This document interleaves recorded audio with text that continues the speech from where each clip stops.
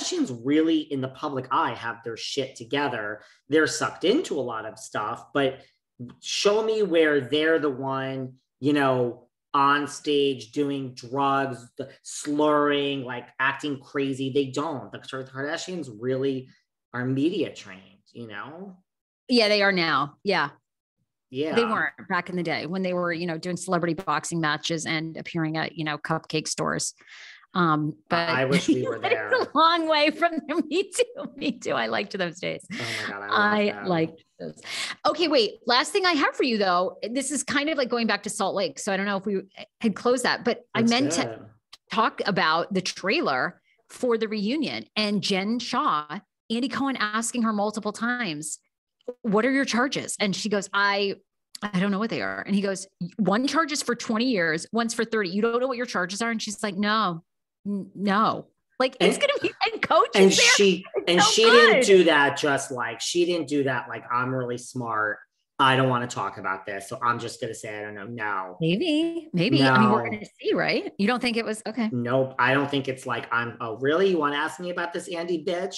I'm gonna tell you I don't know anything about it, and therefore there'll be no more que- nope. I, I don't buy it. I think she just truly is like, I'm on TV. What the fuck is the problem? Like, I, I, I don't need to worry about these charges. She is found guilty. I think she's doing two to four years. I mean, there's no way she's doing. Nobody does that much time for, unfortunately, like these blue collar crimes. They just don't. They they they don't. Like she's she's a nonviolent offender. It's awful. always like, found- and it's like a country club wherever you go. It's like that's the thing. It's like, I don't know. It's Oh, almost completely. like it's like Stewart. You're going to a fabulous prison in Connecticut where you're going to like make baskets half the day and work out. Like, I mean, and yeah, it's it's like you make all this money, you have a chance to hide as much of it as you want. And then you get a slap on the wrist and you go to a country club for two years. I mean, I'm not saying I'm interested in that or go out and do this. I'm just saying, like, that doesn't really curtail you from doing it when you've made so much money. Like, yeah, she doesn't seem concerned. I really feel Jen Shah doesn't understand the charges. I think that was authentic.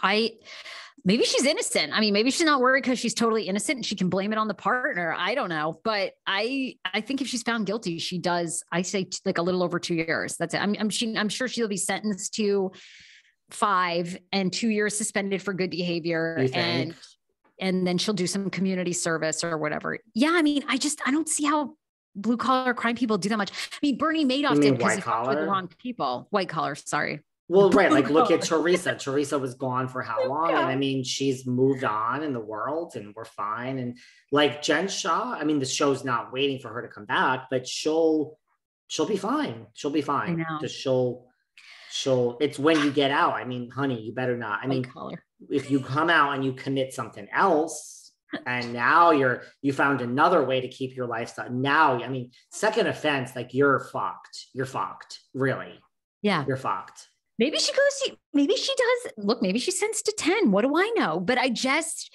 I don't know. I just don't think, I mean, even, I mean, Joe Giudice is paying a big price. I mean, he, ha- he's not coming back to this country. That's a big no price. But, and he did defraud a lot of people.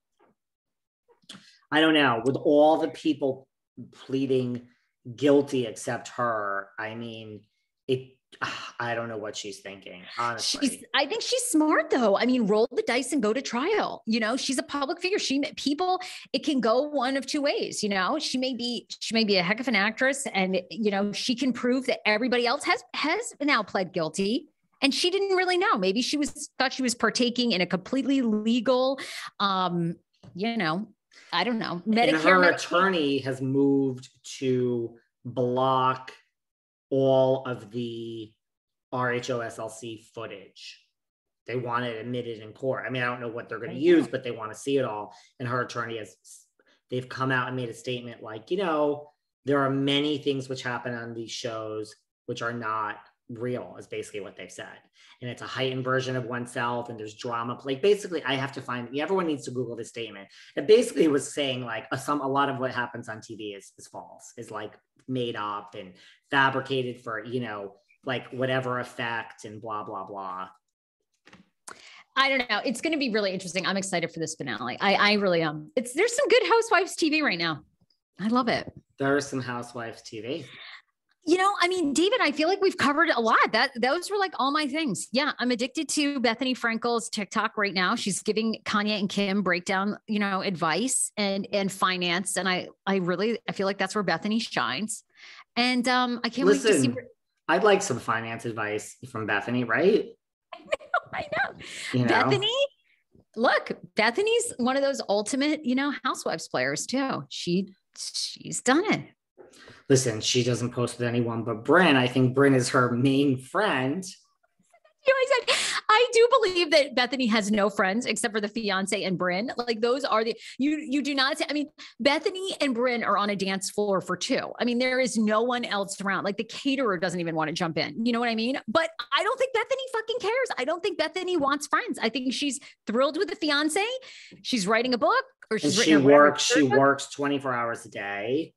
I think she loves business and her daughter and this new fiance. And I don't think she, uh, maybe she has tons of friends. You're probably more privy to that than I am. No, I think she loves the work and I think she loves money and I think she loves Bryn. Eh, yeah. Time will tell if the fiance is still around. I'm not so convinced that that's a lot of love, but no, I think, I think she loves her life. She's in. I think Bethenny got exactly what she wanted in life. And good for I, you. I think she got exactly what she wanted in life. And I mean, for I really do think she's not trying to be mean. She's not trying to be rude. It's like she's over the fucking housewife. She's really not going back. She does not want to go back. And I get it. Why would you want Why to go would back you? for drama when you don't need to? Like you don't need the money. And like it's, isn't it isn't it inspirational? Isn't it like don't we want some of these women to graduate and just say i don't want anything to do with this yeah the platform launched you. Absolutely. But is anyone here listening the same person they were 10 years ago 20 years ago 5 years ago? It's like good for you that you don't need this. No one i think a lot of people don't want to go back and then they have to for the money or like they're desperate for the fame. I mean like good for her for really being over it. You know, I don't I believe oh she's desperate for the fame and her show failed and this one and she'll be back. I no, no, no.